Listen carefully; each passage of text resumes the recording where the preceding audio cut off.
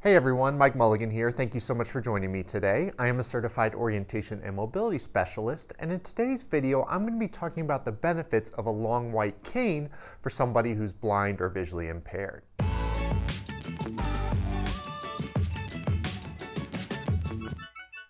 So the first thing I'd like to do in this video is just talk a little bit about what a white cane is and how this can be such an awesome tool for somebody who's blind or visually impaired. And then I'm going to break down the different benefits of the white cane. So a white cane is a tool or device that helps people who are blind or visually impaired travel safely and independently throughout their environment. There are a lot of different types of canes out there and styles and heights and different types of cane tips. So it really helps if you're interested in a cane or you need some help with a cane that you meet with an orientation mobility specialist who can really help you decide what type of cane, uh, what type of cane tip would really be the best fit for you and even give you the training you need to feel comfortable using the cane. So now I'm going to get into the benefits of using a white cane. And the first one I want to talk about, and it's probably the one most people think about when they think of somebody using a white cane, and that is obstacle detection.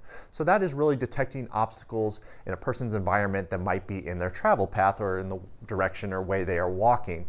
And the cane is great at detecting those objects uh, in the environment to make sure the person stays safe. So the cane is out in front of the person, the cane detects that object before the person does. So if they don't have the cane, they might not see that object and come right in contact with it or bump into that object. So having a cane can be really helpful in keeping one safe from those unexpected obstacles or just obstacles that might be in somebody's travel path.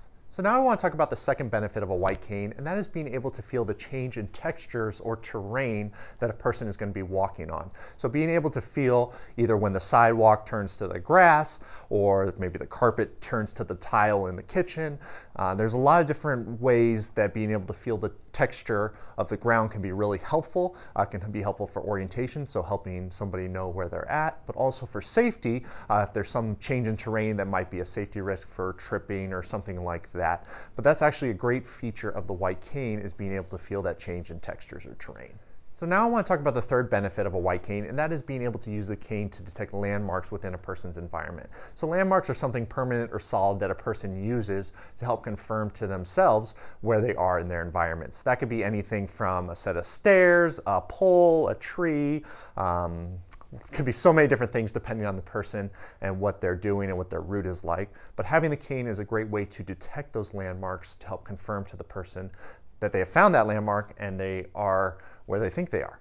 So now I want to talk about the fourth benefit of using a white cane, and I find that many of my clients, this is the reason they decide to even use a cane, and that is being able to detect the top of stairs, so they're able to find the stairs with a, their white cane without it being their feet first, so they have that safety and confidence that they have found the top of a set of stairs.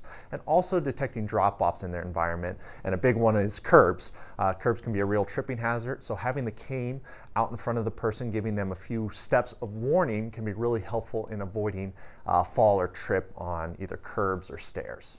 So now for the fifth benefit of the white cane, and that is to be able to identify to other people or the general public that the user is blind or visually impaired.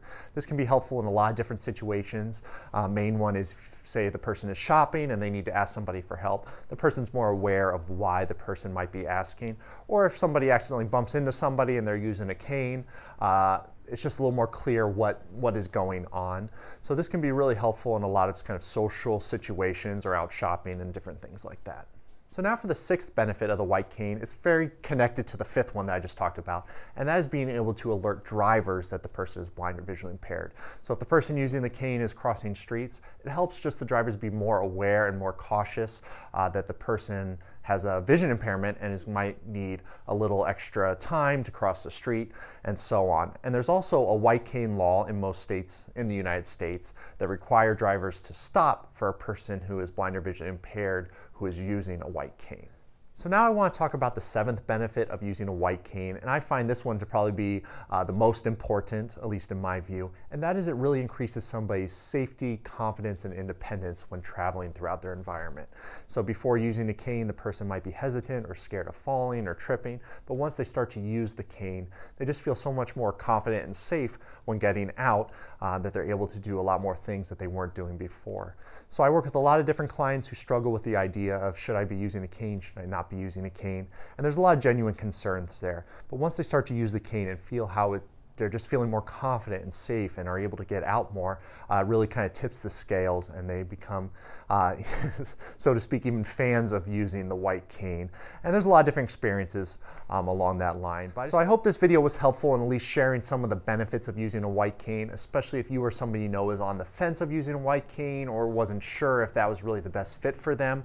Hopefully this video will help kind of explain what the purpose of the white cane is and how it can be helpful to increase somebody's safety, confidence, and independence.